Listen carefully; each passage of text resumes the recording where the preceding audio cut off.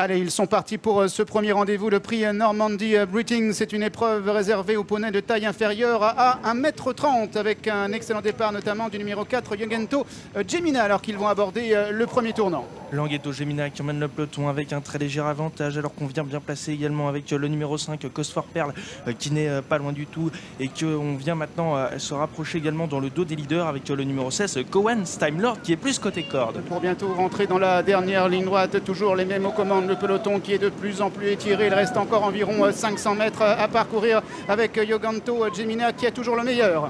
Languedo Gemina qui a toujours la meilleure donc pour pénétrer dans l'ultime ligne droite alors qu'on va tenter de venir l'attaquer maintenant avec le numéro 16 Cohen Steiner qui est décalé à l'extérieur. Orielton Martina vient également au centre de la piste avec Valentin Leclerc et puis la casaque Vertemer le numéro 12 Cohen Strazel Donzel tente de venir un petit peu plus côté corde. Il va leur rester euh, maintenant 200 mètres à parcourir avec toujours Languedo mais Gemina qui a l'avantage qui a supporté le poids de la course et qui va tenter maintenant euh, de repousser toutes les attaques. Mais on vient de mieux en mieux avec euh, la casaque d'Alpha Racing.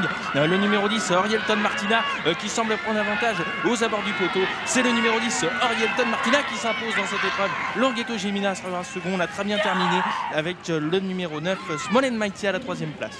Orielton Martina, Valentin Leclerc qui euh, remporte ce euh, premier rendez-vous devant Yangeto Gemina et Tao Foissier qui ont longtemps, longtemps animé euh, les débats et qui se contenteront d'une jolie deuxième place. Et puis on notera également la jolie fin de course à l'extérieur du numéro 13, Pirac Magic Moment qui, je pense, va prendre cet accessite. C'est le numéro 16, Cowan Time Lord qui termine à la quatrième place.